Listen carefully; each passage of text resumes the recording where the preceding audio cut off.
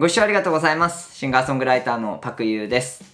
皆さんお正月はゆっくり過ごせましたでしょうか？え僕は数年ぶりに大晦日元旦と、えー、家族と一緒に、実家で過ごしまして、えー、今日、え自宅に帰ってきました。ここ数日の間、え投稿した動画に関しては、え珍しく取りだめしたものでした。まあ、そんな話はさておき、え大晦日に放送された紅白歌合戦え皆さんご覧になりましたでしょうか？僕は、え例年は紅白全く見ないんですけれども、え今年に関しては、えこのチャンネルで出場者が発表された際に、え公開した動画に、えかなり多くの反響をいただいていたこともあり、え録画をして、えで、録画したもののパフォーマンスの部分だけをこう、ざーっとチェックしていきました。今日は2020年の紅白歌合戦の中から、えー、特に注目度が高かった夜遊びのパフォーマンスについてお話ししていきたいと思います。皆さん、えー、今回の紅白の夜遊びのパフォーマンス見て、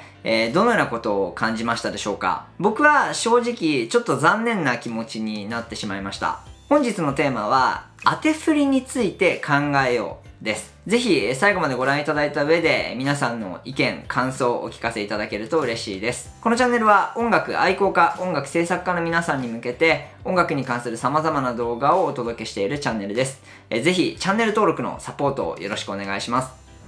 紅白歌合戦での夜遊びのパフォーマンス、作詞、作曲、編曲を担当する綾瀬さんの演奏が当て振りだったんですね。それもびっくりするぐらい露骨な当て振りでした。当て振りというのは、録音済みのカラオケに合わせて演奏している振りをすること。えー、まあ、口パクの楽器版と考えていただけると分かりやすいと思います。歌番組での当て振りというのは、えー、まあ、その是非というのは置いておいて、えー、昔からずっと行われていることです。えみんながやってること。今回の紅白歌合戦に関しても、おそらく、えー、夜遊びの他にも当て振りをしていたアーティストいたと思います。当て振りをする理由というのは様々ですが、えそのほとんどは番組の進行をスムーズに行うため、えまたは経費を削減するためと考えていいでしょう。え、今回の紅白に関しては、新型コロナウイルス感染症拡大防止の観点から、え、密を避けるために、え、演出に制限を設けていたようで、えそれが理由で生演奏によるパフォーマンスを断念したアーティストもいるんじゃないかなっていうふうに感じました。で、何が言いたいんだ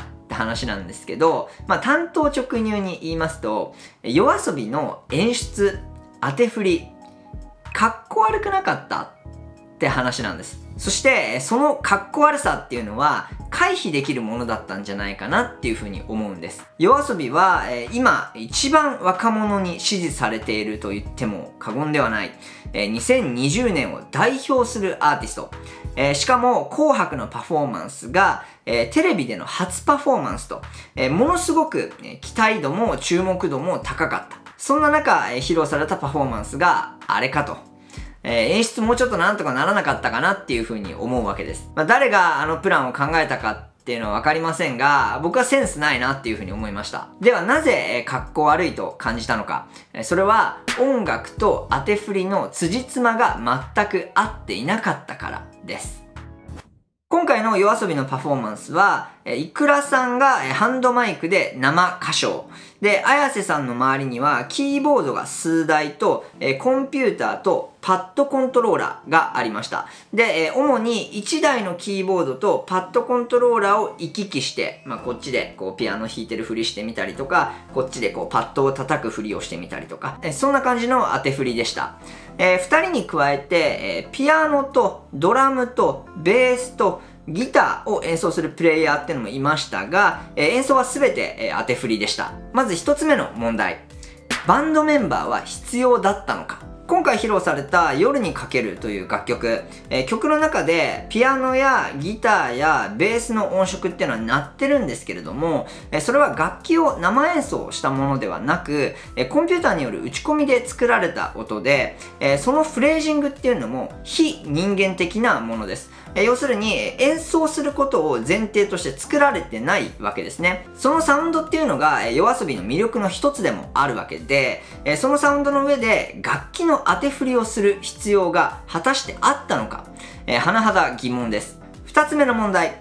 プレイヤーの配置演出上の視覚的効果として、えー、バンドメンバーを加える方向で、まあ、話を進めたとしましょう。えー、にしても、プレイヤーの配置が悪かったなっていうふうに思いました。えー、いくらさんの左後ろにピアノがいて、で、綾瀬さんがまあこっちにいて、で、その後ろにドラムとベース。で、えー、こっちの手前にギター、えー、そんな感じの配置だったんですけれども、えー、綾瀬さんをカメラで抜くときに、えー、後ろのドラマーが必ず映っちゃうんですね。で、えー、綾瀬さんは、えー、今回当て振りで、パッドコントローラーで、こう、リズムをズンチズンチみたいな感じで、えー、叩く、演奏する振りをちょくちょくしてたんですけれども、えー、それと、ドラムの演奏っていうのが一緒に映っちゃうっていうのがダサいんですよ。二人で全く同じことをやっていて、えー、かつ、ドラムの方がやっぱり分かりやすく演奏してるなっていう風に見えるので、えー、となると、綾瀬さんのやってるこのズッチズチっていうこう演奏してる振りが、ものすごく滑稽に見えちゃうんですね。夜遊びっていうのは、いくらさんと綾瀬さんのユニットなわけで、えー、その綾瀬さんがダサく見える配置っていうのはダメなんじゃないかと僕思います。三つ目の問題。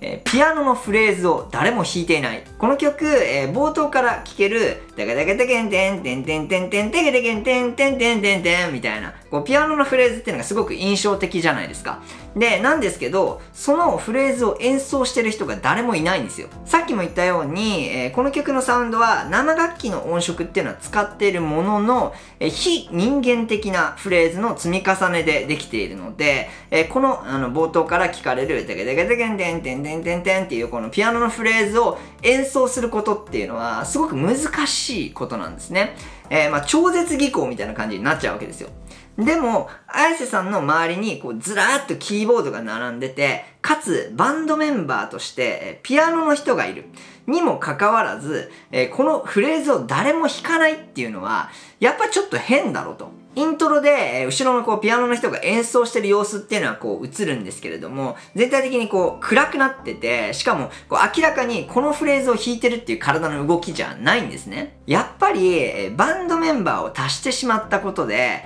こう嘘を嘘で塗り固めるような演出になってしまったっていうふうに僕は思うんです。夜遊びが好きな人っていうのは、えー、ボカロの文化とか文脈っていうのを、まあ、ある程度理解してるでしょうし、えー、そこにコンピューターが1台あれば、えー、そこからいろんな音が出るっていうのは感覚的にわかるはず。え、2人だけで演奏することに違和感っていうのはそこまで覚えないと思うんですよ。えー、センスのない余計な演出のせいで、夜遊びを知らない人にとって、すごく安っぽく見えるようなパフォーマンスになってしまったんじゃないかと。僕は、えー、すごくもったいないなっていうふうに思いました。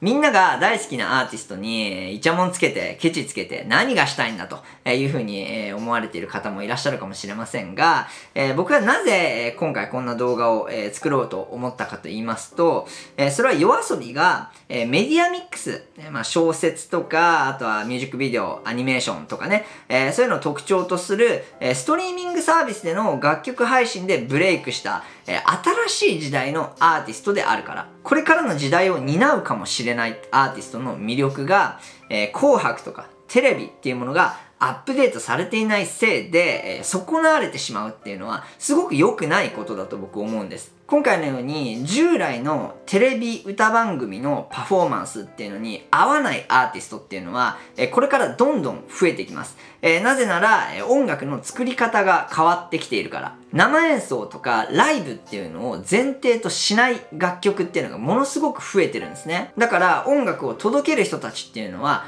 新しい音楽を魅力的に見せる方法っていうのを考えていかなきゃいけない。でも、ぶっちゃけおっさんおばさんはわかんないんですよ。多分、えー、今回夜遊びの演出担当した人、夜遊び何がいいんだろうってあんまりよく分かってなかったんじゃないかなっていうふうに思うんです。えー、この人たちのパフォーマンスをどういうふうにパッケージングすれば、より魅力的に見えるのかっていうイメージが湧かなかったんじゃないか。だから、えー、夜遊びの魅力をちゃんと理解している、えー、リスナー、視聴者の皆さんが、それは違うよっていうことを言ってあげなきゃいけない。もちろん、夜遊びのパフォーマンスが、テレビ、そして紅白で見れたっていう、嬉しさ、それが、まず最初にあっていいと思います。えー、でも、もっとかっこいい夜遊びが見たかったなっていうのは言ってってもいいと思うんですね。今の時代、コンテンツを作る人たちっていうのは SNS の動向を必ずチェックしてます。クレーム入れてやるみたいに攻撃的になる必要はないと思いますが、えー、要望っていうのは発信すれば必